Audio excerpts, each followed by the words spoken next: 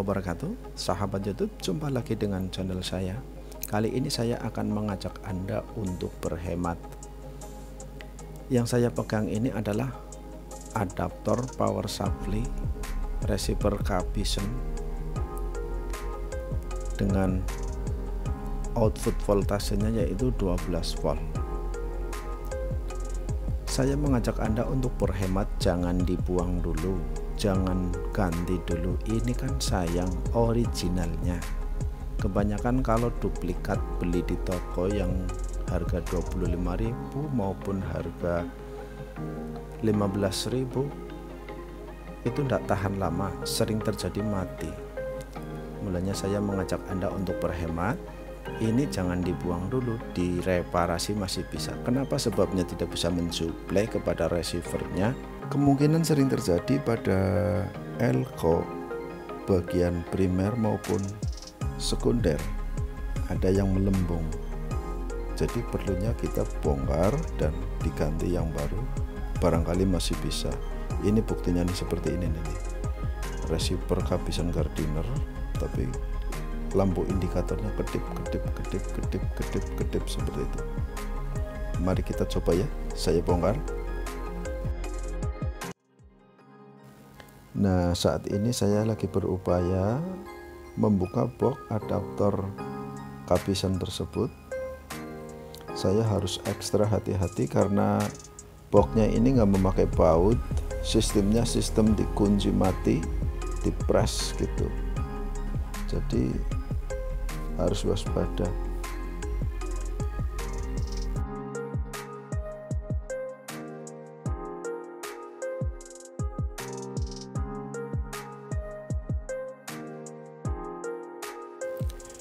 itu kan guys. Elko nya bener melembung. Mulanya ini perlu dieksekusi diganti yang baru.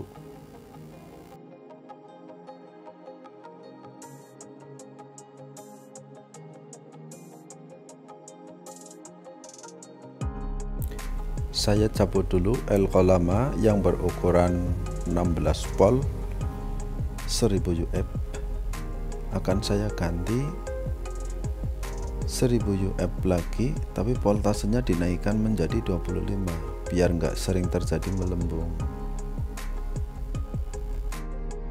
Kebetulan pemirsa tadi sempat saya ganti menggunakan Elco 1000 UF 25 volt tidak bisa masuk ke dalam boxnya karena teramat gede besar.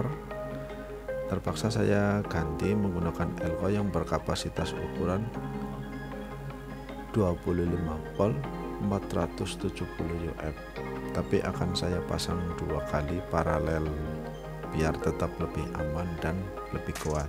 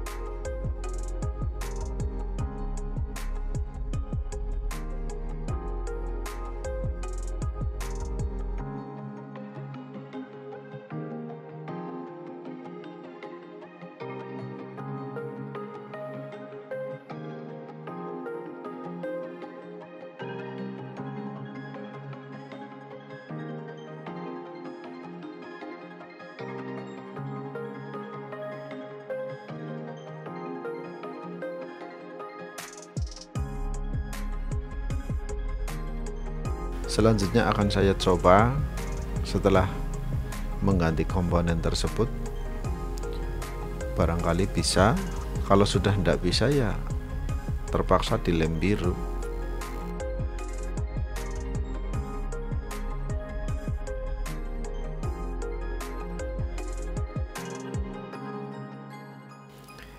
Nah ini pemirsa bukti otentik bahwa sudah bisa menyala lampu indikator kelihatan nyala merah dan kemudian itu ada 002 sudah masuk di channel 2 itu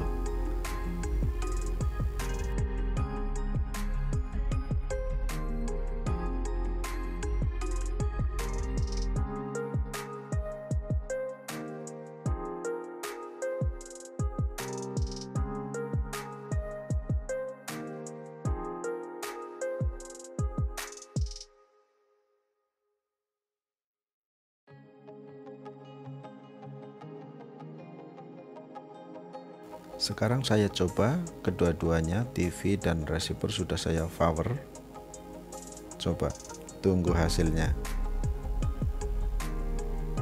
Nah itu sudah keluar gambar. Berarti sukses kerusakannya cuman segitu.